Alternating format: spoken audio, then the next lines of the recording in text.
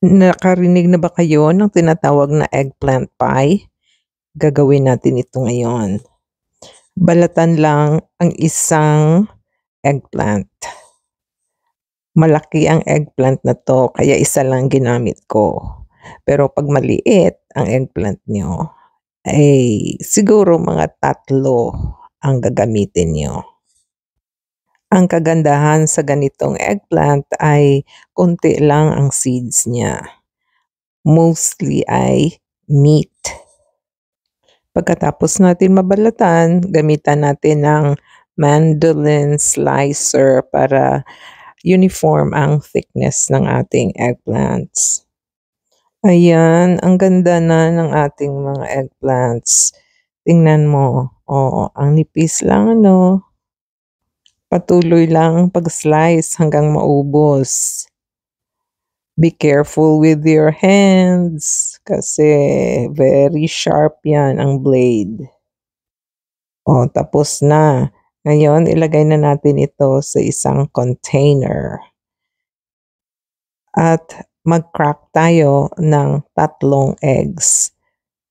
Pagkatapos, batihin natin ito at lagyan din ng salt and pepper. At kumuha ka rin ng isang plate, lagyan mo ng 1-4 cup na all-purpose flour.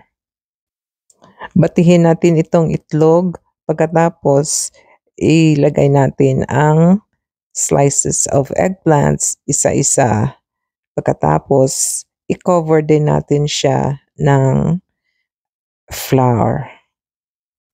At habang ginagawa mo ito, magpainit ka na ng pan mo with oil. Piprituhin na natin ito hanggang maging brown. Mas maganda pag pinirito mo ang eggplant kasi wala na ang water pag bake mo siya.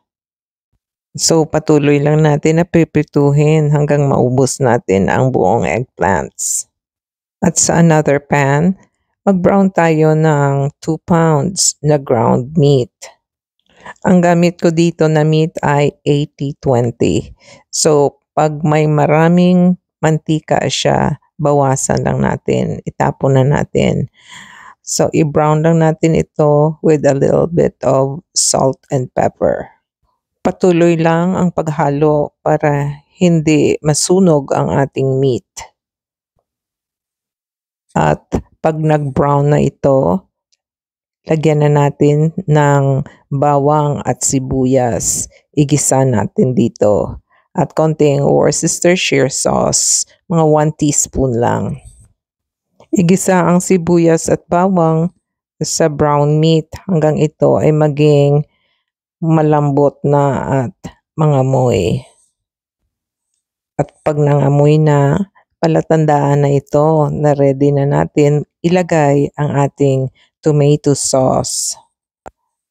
Ginamit ko dito ang tomato sauce na may garlic, basil, and oregano. Haluin lang ito ng maigi.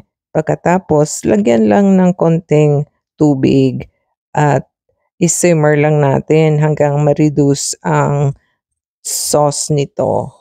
At dahil ito ay tomato sauce, lagyan natin ng 1 teaspoon na granulated sugar para ma-neutralize ang acid.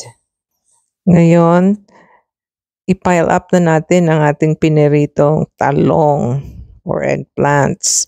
Yan, meron akong pie dish.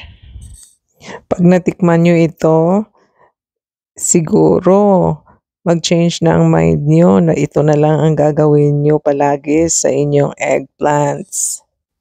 Yun, ilagay na natin ang ating ground beef. Spread out lang. Pagkatapos, ilagay natin ito sa oven. Mga 15 minutes lang.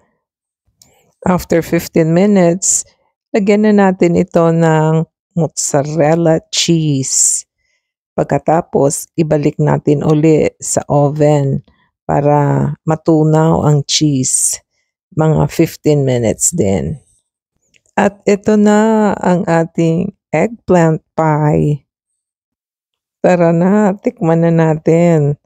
Oh, sabihin nyo lang sa akin sa comment section kung ano ang sa palagay nyo nito.